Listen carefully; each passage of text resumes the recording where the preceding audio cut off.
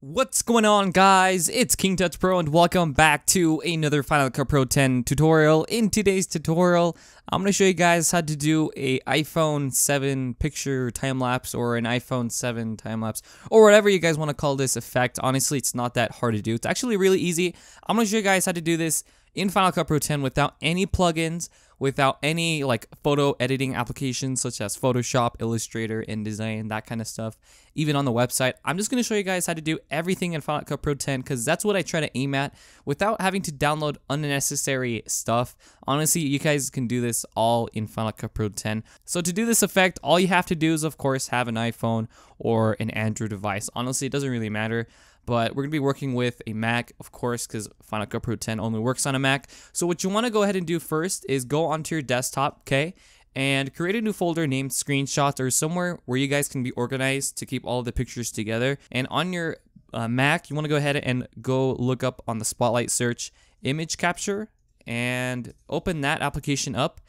Also, you want to unlock your iPhone so you guys can see the pictures. Select all of your pictures, like maybe I want these two, like command click. Import to, it says pictures. What I do is I just click and drag this onto the other, um, in the folder that we've created. We need an actual place to find the mockup or that template. So what I did is I just went to Google and I looked up the iPhone 7 Plus mockup. And if you click on this, uh, looks like a rose pink or rose gold or a gold iPhone 7. To save that image, you actually have to save it for it to work. So right click, save image as, and it will save it as a PNG.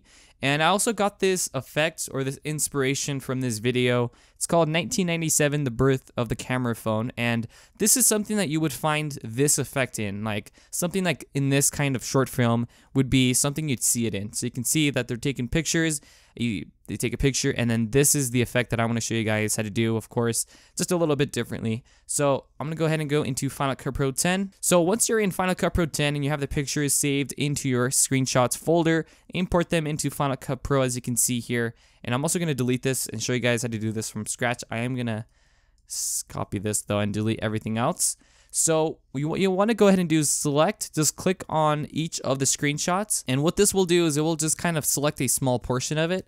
And then all you got to do is honestly just highlight everything and then just drag this onto the timeline and do that with the screenshot. So drag this and zoom out. It's going to say the video properties of this clip are not recognized. Just click OK and everything should be fine anyways. Now, don't be worried about the time. I know it says two minutes, but we're going to be making this a lot shorter. What I'm going to go ahead and do is, of course, make a uh, compound clip. So to do that, it just nests all of the clips together. So it pretty much groups them all together. So go to uh, new compound clip once you right click on any of the pictures. And then from here, go ahead and give it a name. I'm just going to name this iPhone 7 in the Cinemagraphs event. And from here, it's going to look as just one file. But what you guys can do is if you double click on this, it will open up this kind of like folder. And this is where you can go ahead and continue editing on individual pictures. So I want these two, actually, I want these three to go in the end. So I'm going to select these three and move them to the end. This is the cool thing about this. So I'm going to move this like to the end here. There we go. And so it's going to go from the newest to the oldest.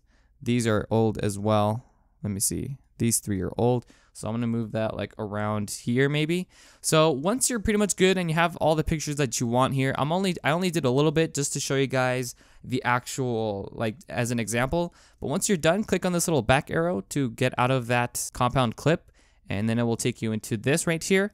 Now, once you're done with this, we need the template. So import the picture. It should be a PNG image with a transparent background click and drag that on top of the clip here and it's going to look like this and don't worry we'll fix it so click and drag on the end of that clip here and just fill that up till it lines up with the rest of the compound clip now once you've done this all we have to do is just click on the iPhone 7 template and we're going to change the actual transparency. I'm going to get rid of this because we don't really need that anymore.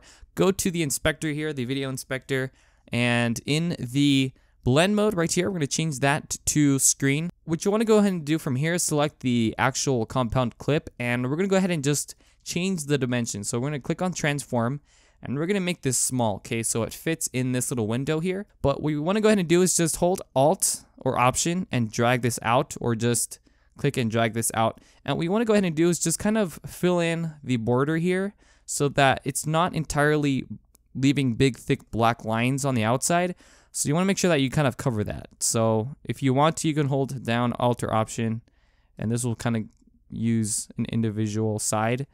And I'm also going to change this top part. So something like that would be good. Click on Done. And if you want to go ahead and give a preview, click on the full screen. And that looks pretty good. That's actually perfect.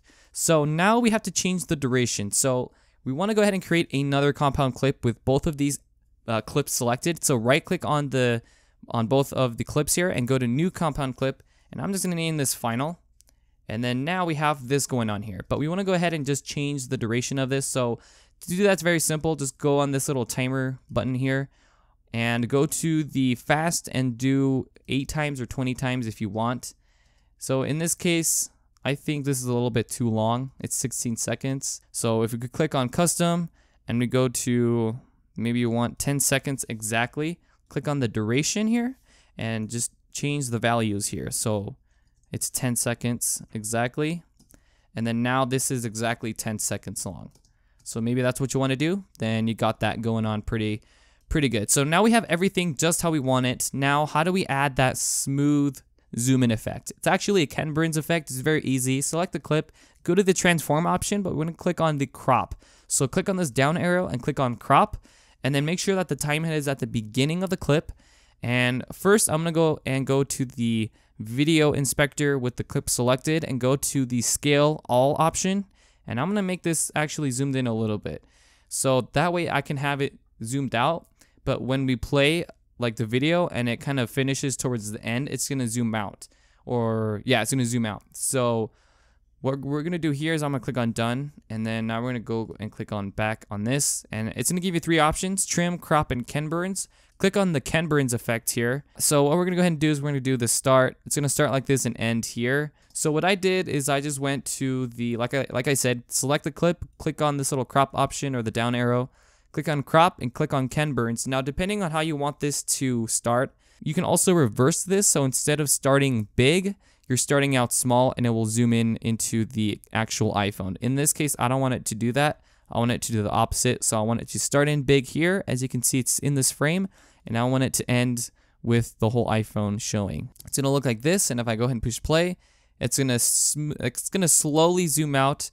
And the reason I like the Ken Burns effect is because no matter how you like if you change the duration, it will automatically adjust to that duration. So if I were to go like I want it to even go maybe five seconds. It's actually going to go ahead and change automatically without you having to go back and change the values. So that is a really cool feature that I like. And so just play around with the values. Honestly, all you have to do from here is just import the music.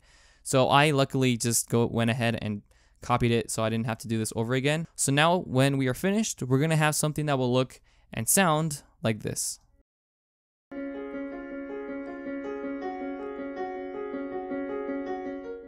So if you found this video helpful in any way, be sure to leave a like, comment down below for any other video ideas.